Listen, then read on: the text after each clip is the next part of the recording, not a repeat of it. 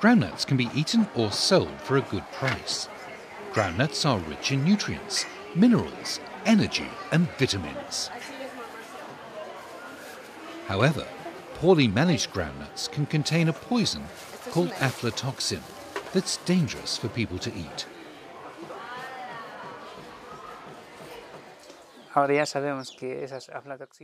Now we know that these aflatoxins are harmful for us and for the animals, and they mainly damage the liver and the kidneys.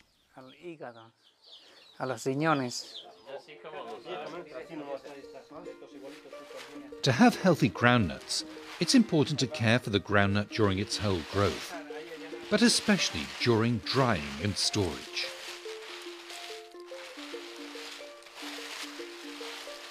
In this video, we'll learn how to dry and store groundnuts to keep them healthy and easy to sell.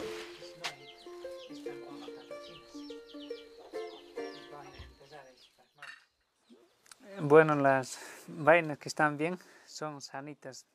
Well, the pods that are good are unbroken with a pretty colour, but the disease pods have brown spots, kind of grey spots.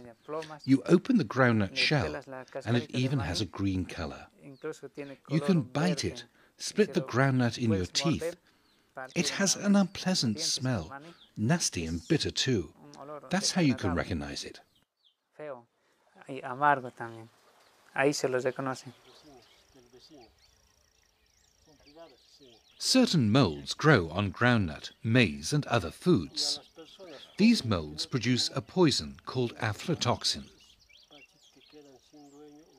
Aflatoxins are caused by molds in the soil. The molds multiply more when it's humid and hot.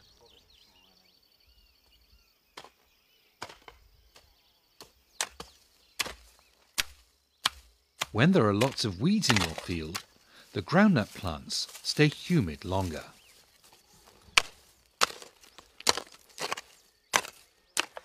The weeding protects the plant a lot. When a plant is weeded, it grows well. But if it is weedy, then it gets moisture and gets more disease.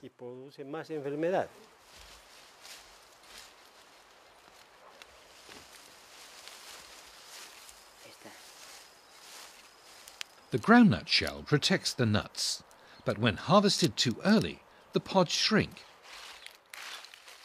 And when harvested too late, the pods split and molds can enter. Once groundnut is harvested, the mold spreads from diseased pods to healthy ones by physical contact and wind. There may be a blackish green mold on the surface of the groundnut, maize and other food crops. But when we magnify the mouldy surface, we see that the mould is made up of a forest of tiny stalks.